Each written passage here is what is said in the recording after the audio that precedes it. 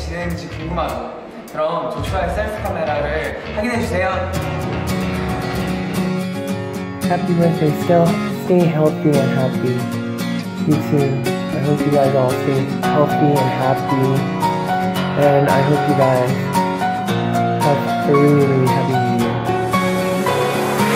차가운 네 밤거리도 가슴 아픈 발걸음 언젠가는 지나가겠지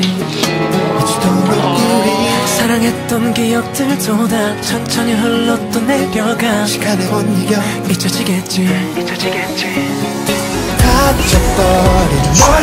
마음속을 잠깐 휴식 시간에 잠이 들었습니다. 아무도 없는 이 방에서 이미 깨져버린 우리의 모습을 발견해서 아파서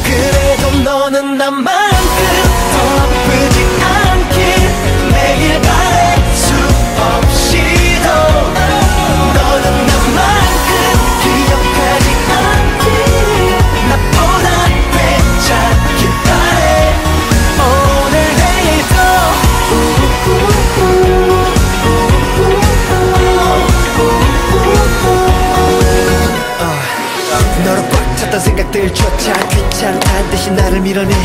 시계바늘들을 쫓아 시간 따라 따라가다 떠나가는 너를 발견해. 지금 나는 너무 급해 달려가는 급행 익스프레스처럼 매일 발걸음을 보채 이제 우리들은 그저 낙선 가득한 나가버린 공채. 잃어버린 나의 기억 속으로 찾아가 봐도 이제 널 볼 수가 없었어 이미 사라져버린 우리의 시간을 발견해서 아파서 그래도 너는 나만